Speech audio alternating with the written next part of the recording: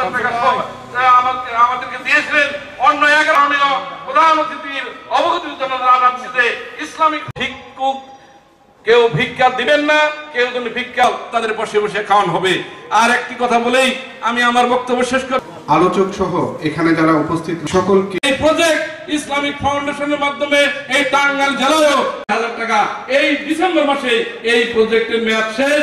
মাননীয় যদি সে আইন শৃঙ্খলা বাহিনীর হাতে ধরা পড়ে তার জন্য তাহলে যদি এই প্রজেক্টটা আগামী জানুয়ারি মাসটা শুরু হয় মাদকের যে সামাজিক কুফল সেটা কিন্তু আপনারা অলরেডি জানেন। আপনি আমাদের ইমাম সাহেবের মধ্যে উপস্থিত হয়েছেন এবং ধন্যবাদ জানিয়ে ধন্যবাদ জানিয়ে আমি আমার বক্তব্য শেষ করছি। আসসালামু আলাইকুম।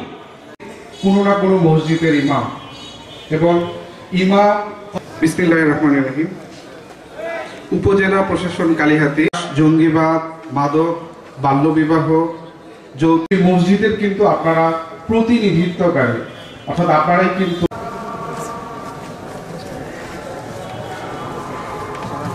ইমামদের গায়ে যদি কোনো ময়লা লাগে, তাহলে আমাদের সমাজের আর কিছু থাকে না। আমরা তো সবাই মানুষ। ইমাম